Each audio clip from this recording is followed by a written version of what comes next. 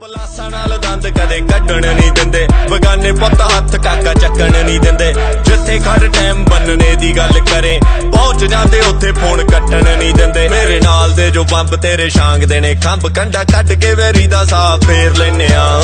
ਹਾਂ ਪੁੱਤ, ਪਿਓ ਬੋਲਦਾ, ਉਹ ਤੈਨੂੰ ਜਾਣਦਾ ਏ ਕੌਣ? ਬਹੁਤਾ ਬਣਨਾ ਤੂੰ ਡੌਣ ਗੈਂਗ ਵੈਲੀਆਂ ਦਾ ਮਿੰਟਾਂ ਵਿੱਚ ਘੇਰ ਲੈਨੇ ਆ। ਤੈਨੂੰ ਜਾਣਦਾ ਏ ਕੌਣ? ਬਹੁਤਾ ਬਣਨਾ ਤੂੰ ਡੌਣ ਗੈਂਗ ਵੈਲੀਆਂ ਦਾ ਮਿੰਟਾਂ ਵਿੱਚ